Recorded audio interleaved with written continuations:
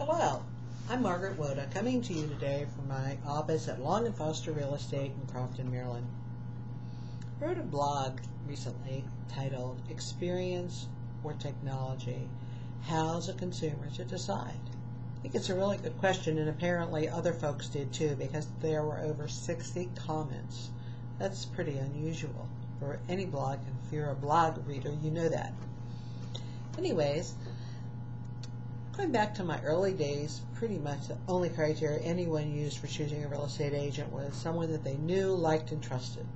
Became more competitive, and they began, they being consumers, to look at agents' credentials and interview different people, trying to, to weigh the professional knowledge, business success, community involvement, industry leadership, and their reputation for integrity, one against the other.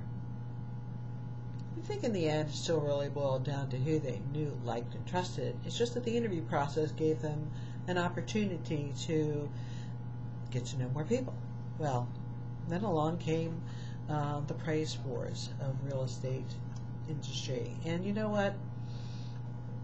I'm, I'm going to keep this real simple, this discussion. You get what you pay for. It's as simple as that. Nowadays, though, consumers are looking at uh, the question as I titled that blog, Experience or Technology.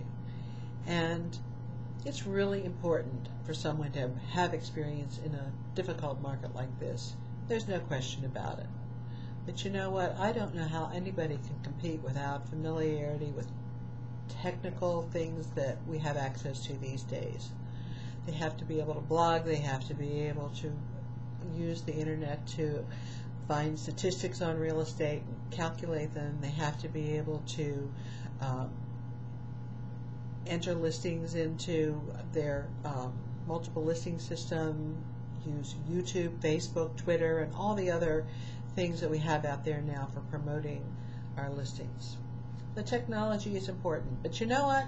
There is absolutely no reason that you can't have both experience and technology. And in the end, I'll bet you're going to go with who you know, like, and trust.